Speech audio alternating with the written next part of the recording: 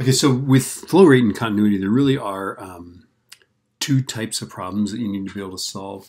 Okay, uh, the first one is is just the notion that if you multiply, say you've got this pipe here, if you multiply the area of this pipe by the velocity, um, which isn't very fast, right? But if we if we knew what this cross sectional area was, uh, we could figure out the flow rate. Okay, and and you need to be able to figure out just basic things like if you had uh, you know a certain area and a certain velocity, how long would it take to you know, fill a cup or fill a room or something like that.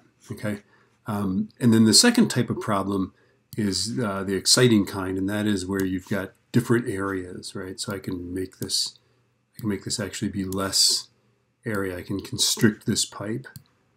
And if you do that, you will see that the velocity might be slower here, but where the constriction is, the velocity is faster. In fact, we could use this to figure out what the ratio of the areas is in this case. Um, this is a bit like putting your thumb over the end of a, uh, uh, hose or something like that and, and spraying your, uh, you know, little sister or something like that.